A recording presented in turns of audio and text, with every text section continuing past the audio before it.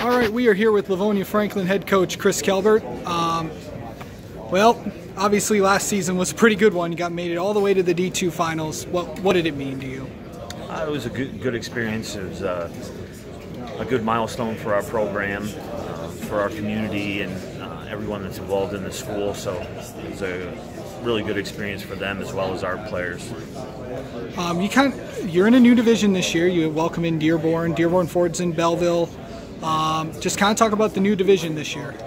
Uh, our division's changed a little, uh, a little bit, but I think uh, overall, um, it's always been a very tough, competitive division with Canton and Plymouth. Them leaving and adding the two Dearborn schools, as well Belleville, will keep that um, physical nature, that toughness going. Um, so we're we're looking forward to that. Uh, just kind of talk about who's returning for uh, from last year's team.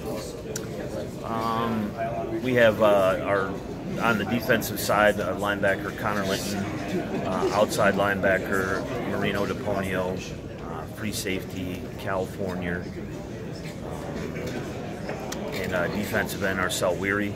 Offensively, we have a quarterback Jake Kelbert, running back Julius Simmons, uh, offensive lineman uh, Jake Swerple.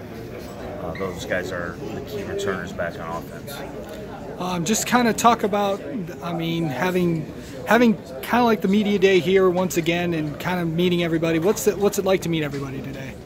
Uh, it, it's a good exposure for our league. Good time seeing uh, the coaches, different players, uh, hearing what everyone's going to do this season, what the upcoming season is going to look like, and really just to promote our league and, and how special it is. Uh, one of the changes uh, with the officiating is now there's going to be seven officials on the field for KLAA varsity games. Just kind of talk about that. Uh, I really we'll, we'll have to see how it goes and, and what the changes, how it uh, changes the game. Obviously, there's going to be more eyes on the game. Um, those penalties that maybe get missed, hopefully don't get missed. Um, but I, we'll have to kind of see how it goes and see how if it does affect the game in any way. All right, Chris, thank you very much, yep, and congratulations you. on last year. Thank you.